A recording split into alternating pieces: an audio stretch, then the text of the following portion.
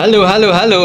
Assalamualaikum warahmatullahi wabarakatuh. Salam wangi sepanjang hari. Kembali jumpa dengan channel Pusat Grosir Parfum Malang, channel yang membahas serba-serbi parfum refill pada khususnya dan parfum pada umumnya. Semoga kabar teman-teman baik selalu sepanjang hari ya. Jadi di episode kita kali ini kita akan review parfum pria yang sudah lama ya menghiasi toko-toko parfum di hampir seluruh Indonesia. Jadi termasuk item yang sebenarnya tidak terlalu best seller, tapi brandnya sudah sangat terkenal ya. Mungkin karena baunya memang tidak semua hidung kita ini suka ya, karena memang baunya lebih bisa dikatakan ke arah mewah-mewah gitu ya. Jadi high class dan tidak gampang hidung untuk bisa suka dengan parfum ini. Jadi sangat khas sekali baunya. Parfum apa itu? Simak terus jangan sampai pindah channel dan pindah ke mana-mana. Jangan lupa buat yang suka main tiktok follow tiktok kami di sini dan instagram kami juga ada di bawah ini. Jadi biar bisa lihat pengiriman-pengiriman kami ke seluruh Indonesia. Oke langsung aja biar tidak lama-lama ini kita review brand parfum pria yang baunya sebenarnya banyak yang suka juga tapi tidak semua hidung mampu untuk menerima bau ini namanya Carolina Herrera 212 Men ya, ada beberapa tipe ya ada 212 men, ada VIP men, ada seksi men dan banyak lagi ya. Kali ini kita mau review yang 212 men ini karena memang karakternya sangat kuat sekali. Yuk kita cium aromanya. Seperti biasa ini versi hidung saya ya. Nanti kita baca sesuai kitab sucinya.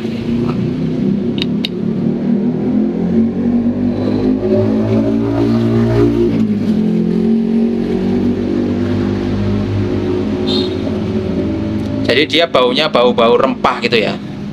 Jadi biasanya kalau parfum bau rempah itu memang kurang diminati ya. Jadi mungkin tidak sampai 50% orang yang suka dengan parfum ini. Kenapa? karena memang baunya rempah. Padahal bau rempah ini memang sebenarnya baunya yang lebih kuat lebih tahan lama itu unsurnya ada di rempah.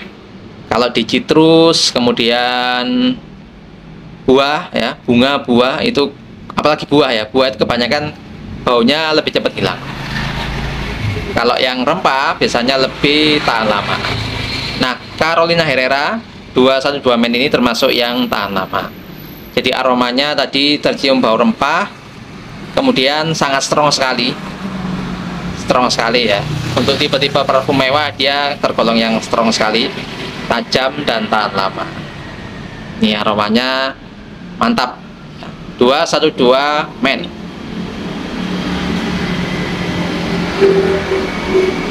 ada segernya dan ada rempahnya. Segernya ini tidak tahu dari mana ya. Hidung saya masih meraba-raba ini.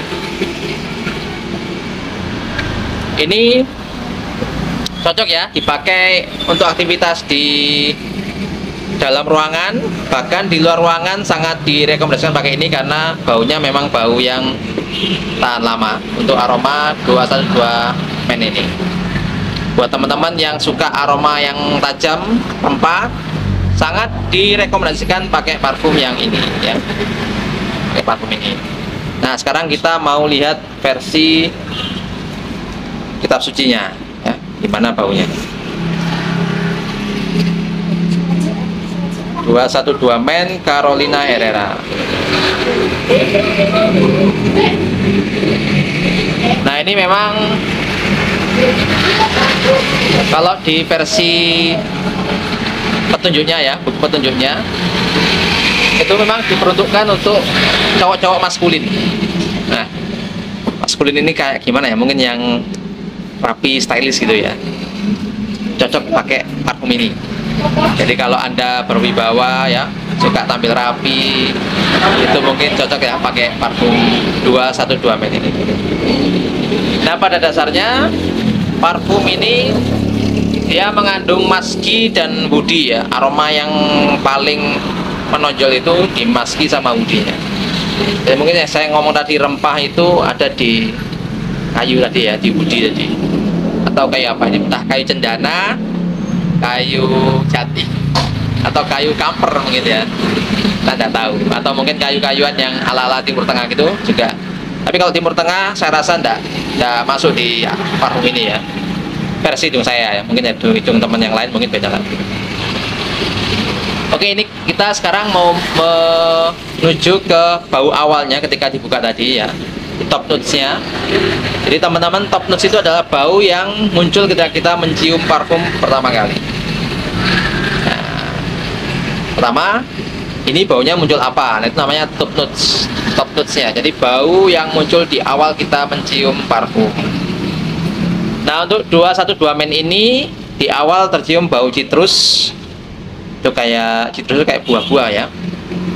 Lime jadi wah ternyata ada jeruknya ini. Lime dan green fresh. Jadi ada kayak mungkin teh-tehnya gitu ya. Nah, menarik ya. Perpaduan citrus kemudian buah jeruk lime dan green fresh itu untuk di top notesnya tadi saya tidak cium ya tadi. Hidung saya tidak mencium bau jeruk. Jadi mungkin beda ya jadi hidung saya tadi mengarahkan ke arah langsung ke rempah aja ya. Jadi simpelnya ke rempah ternyata di top tusnya dia mengandung citrus dan buah lime buah jeruk. Oke di tengah-tengah jadi setelah mencium kita di awal tadi begini nanti di tengah-tengah siklusnya akan berubah baunya. Nah dia di middle notes-nya dia mengandung bunga lavender kemudian gardenia dan exotic spice. Mungkin, mungkin spice ini mungkin ke arah rempah ini ya merica-merica gitu ya. Jadi yang tadi saya bilang rempah mungkin ada di tengah ya munculnya di tengah.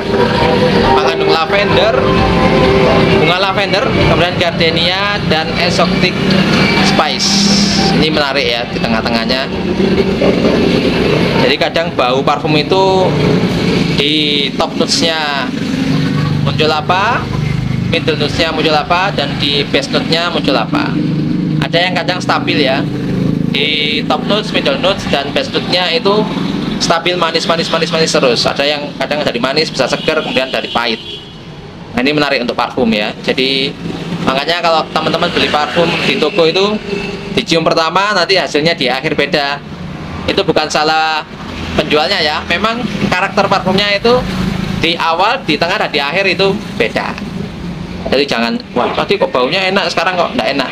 Ya memang parfumnya kayak gitu ya. Jadi di top kayak ini middle notes-nya kayak ini dan di base note-nya seperti ini. Oke kita sekarang ke base note-nya dia mengandung hoodie kayu-kayuan amber dan maski. Jadi yang tadi saya ngomong ini lebih tajamnya di kayu dan rempah itu ada di akhir ya. Jadi semakin akhir ini rempahnya semakin tajam ya. Kayu-kayuannya semakin muncul. Jadi kalau di awal tadi baunya muncul aroma buah jeruk lime. Di tengah muncul lavender bunga-bunga gitu. Jadi habis buah kemudian muncul bunga. Nah di akhir ya muncullah bau maski dan budinya kayu-kayuannya. Rempahnya mulai muncul seketika jadi yang suka bau-bau kayu pria-pria yang suka bau-bau kayu silakan pakai ini rekomendasi sekali. Karena bau kayunya muncul saat kering. Wah enak sekali. Jadi ibarat kita mau pergi ngantor ya mau pergi keluar kita semprot di rumah masih bau lemon tadi. Terus kemudian di tengah perjalanan baunya berganti lavender.